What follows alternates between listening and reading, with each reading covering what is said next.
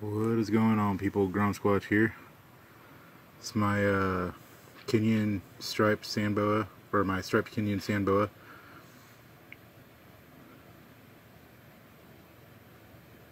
She's just over two years old now.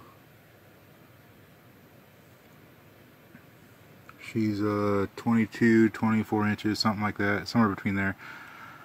Uh, last I weighed her, she was 250 grams.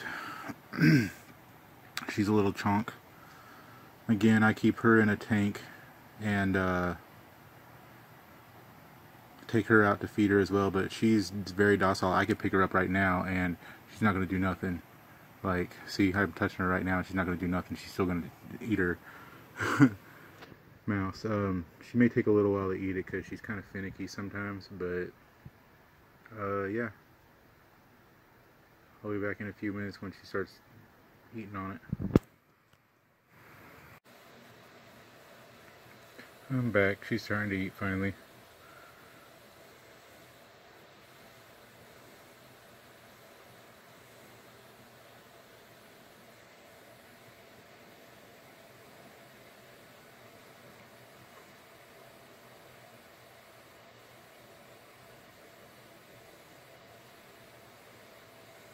She looks like she's getting ready to shed as well.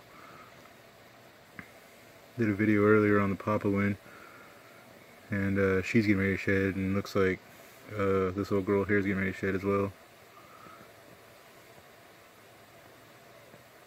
Yeah, it's a striped Kenyan sand boa. Today's feeding day. She'll only get one of these guys.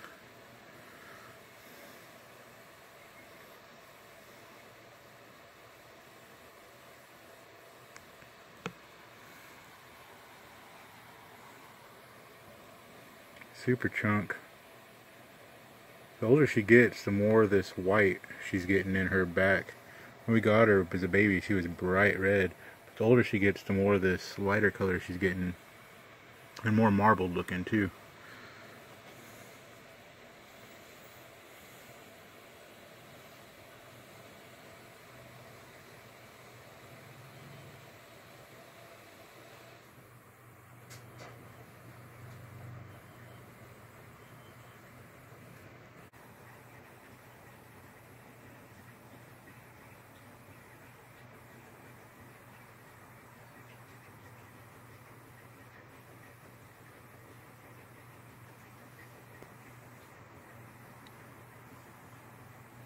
I'll come back when she's made some more progress.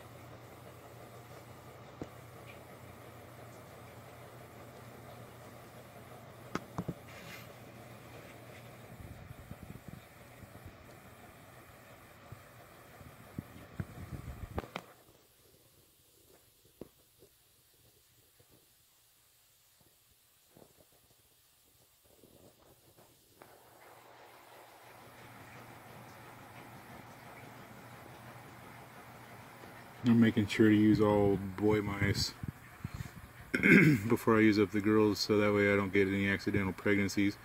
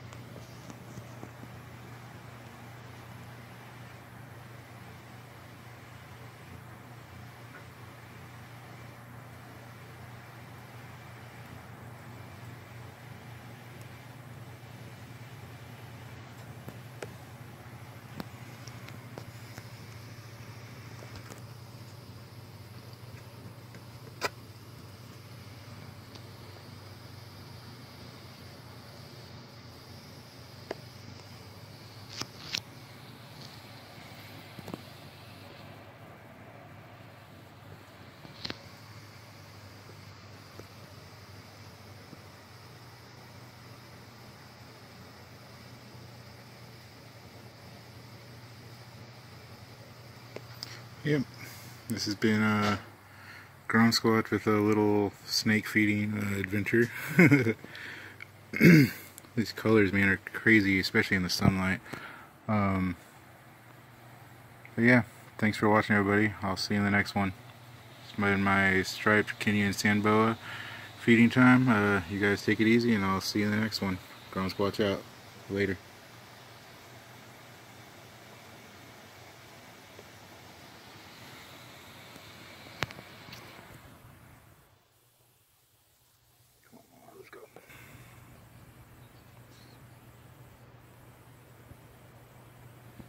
Super pretty. And super white underbelly. Good little girl.